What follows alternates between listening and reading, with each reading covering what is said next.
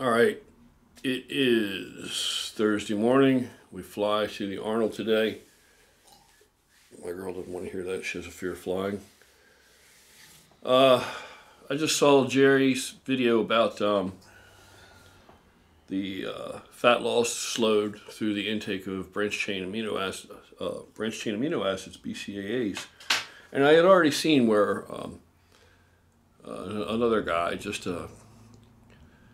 Google master, who uh, just just pounds out videos, just shits out garbage videos on you know this one behind the other every single fucking day, and um, the information is so horrid because the this other guy, not Jerry, he uh, has no he has no first-hand experience. He has no standing, in other words, okay, which is like a legal term where you're not involved in this conversation more or less, that you don't have any standing to, you know, everybody's entitled to an opinion, so as far as that, sure, you, yeah, uh, you can have your opinion.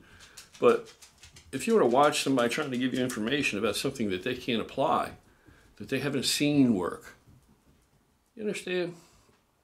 It's a huge, huge difference between doing something and knowing it works. As always, I'll, I'll give you a real simple example.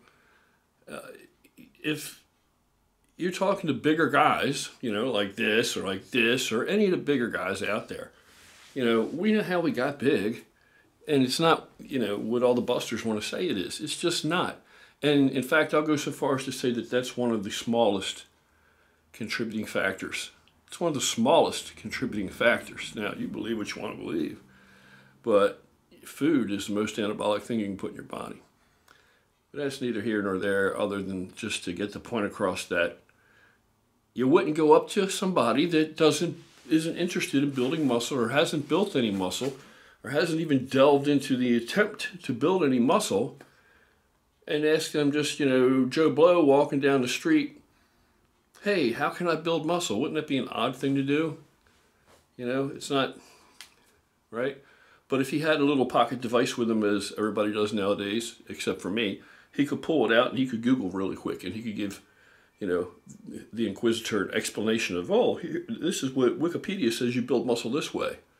That's more or less what you have with some of these cats that just shit these videos out of their ass one behind the other and, and they have no actual standing from which they're speaking. The guy has no credentials to, you know,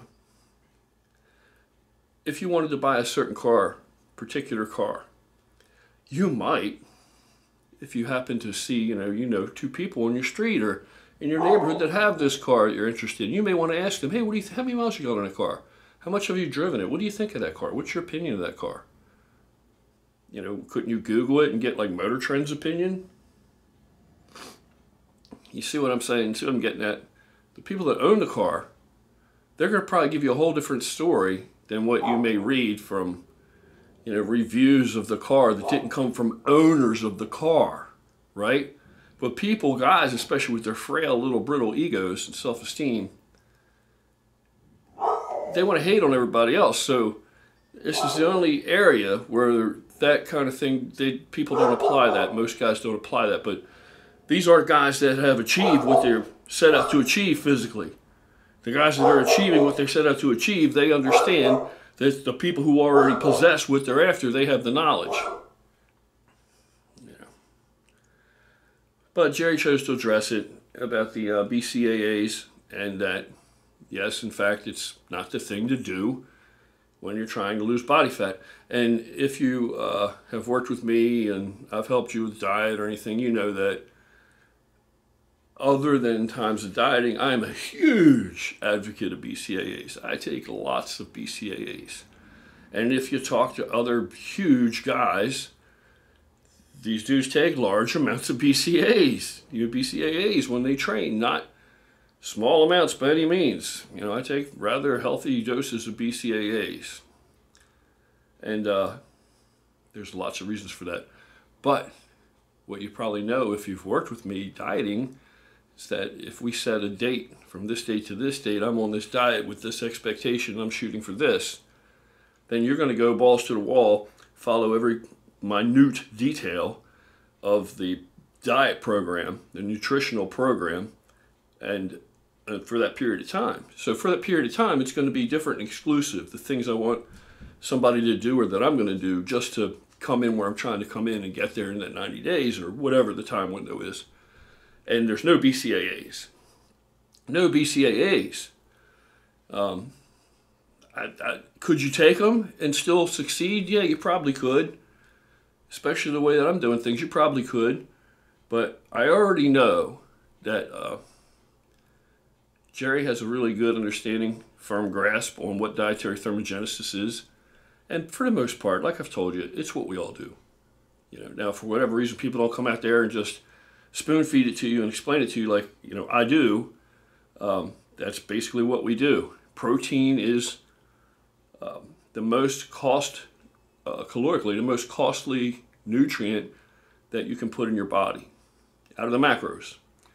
Protein, um, if done correctly, if done correctly, and I don't count on this golden percentage, but just as a point of reference, just to, to put things in perspective, you can burn up to 45% of your total daily caloric intake just from the protein you consume if you do it correctly.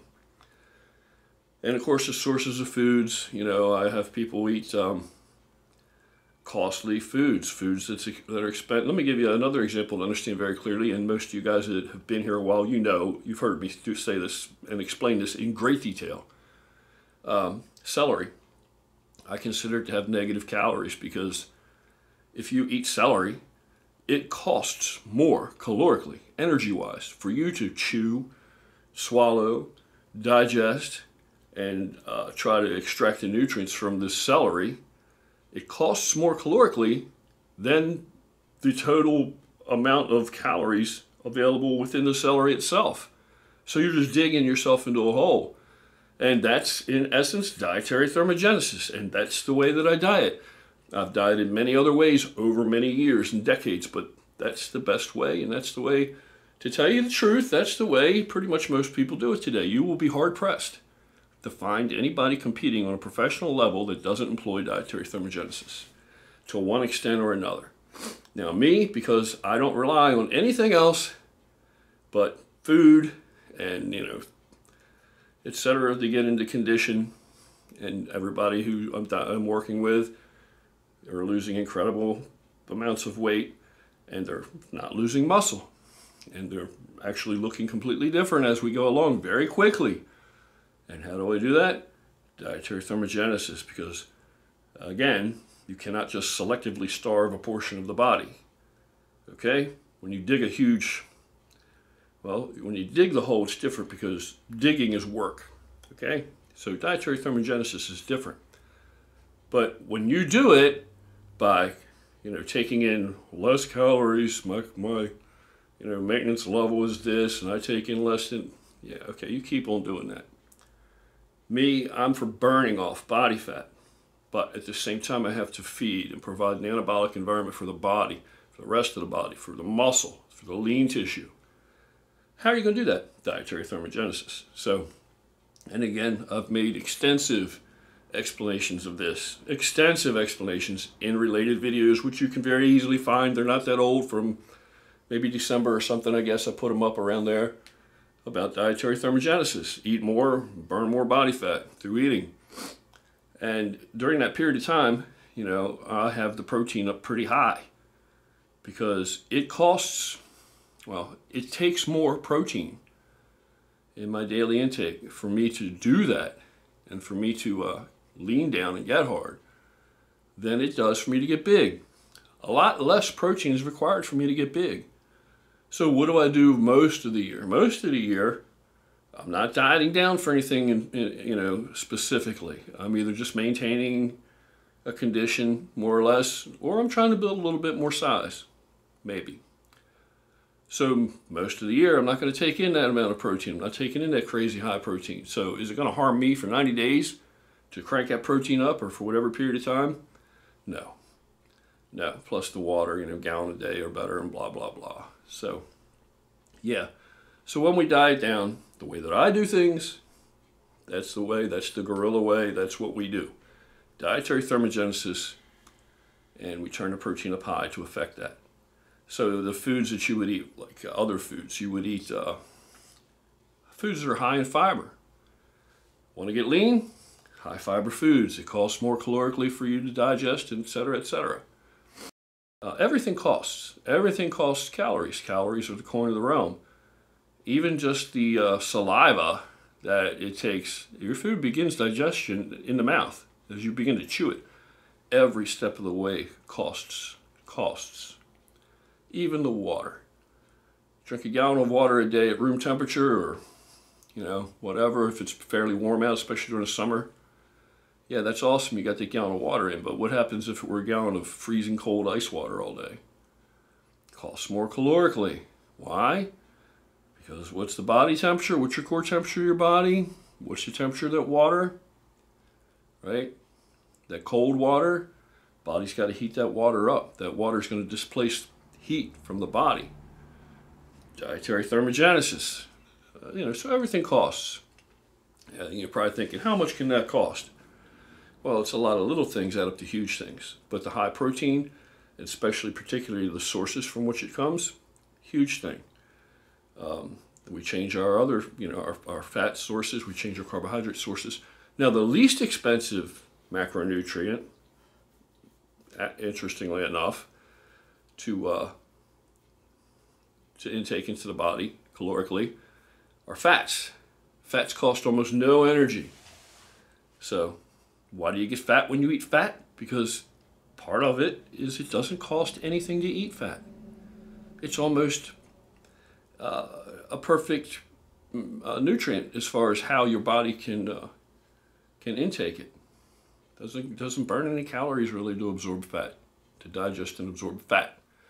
It does carbohydrates, especially if you pick fibrous choices, complex choices, you know, whole grain choices, things like this that are going to cost more to digest. And protein is most expensive of all. So that's that. So that's like, you know, your vegetable drinks. I drink vegetable juice, but I don't drink it if I'm trying to diet down. If I'm trying to diet down, I want the whole vegetable. Same thing with fruit. If I like fruit juice occasionally, well, am I going to be better off with fruit juice or the whole fruit if I'm trying to diet down? Whole fruit. So the whole food selection is different. But anyway, he's 100% correct, of course, and he doesn't need me to affirm that. He knows he is. In that BCAAs, you know, one guy, he said to me off the cuff, mentioned that, well, when I take my BCAAs, I'm like, what? BCAAs? You can't take BCAAs right now. That's that's not for dieting. No, stick to you stick to the program. If it's not in the diet, if it's not in the diet plan, no freelancing allowed. You, only things, only specifically, specifically what's in the diet plan. So yeah, no no BCAAs when you're dieting down. No BCAAs dieting down. And I'll tell you another oddball thing is that since I have, uh, you know what, I'll save it for another video because some of these videos get too long and people whine about it. Uh, short attention spans, or am I really just that boring? Maybe a little of both. Anyway, take care. Catch you guys later. Have a great morning.